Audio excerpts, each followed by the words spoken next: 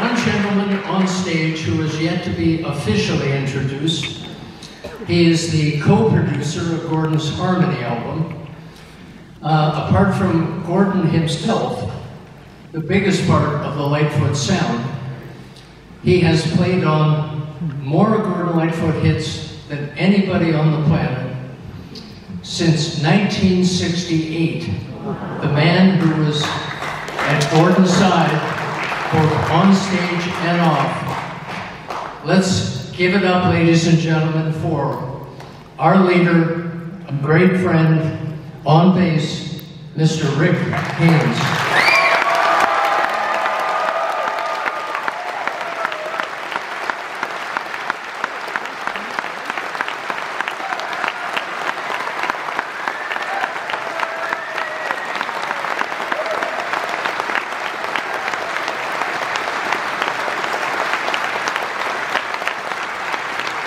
We're almost, as Gord used to say, we're in the home stretch. We're almost getting to the end of the show, and I just wanted to add a little tagline onto Michael's airplane story. Michael once asked me in the wintertime, he said, that orange stuff they, they spray in the plane, the, the de-icing fluid, he said, how come it's orange?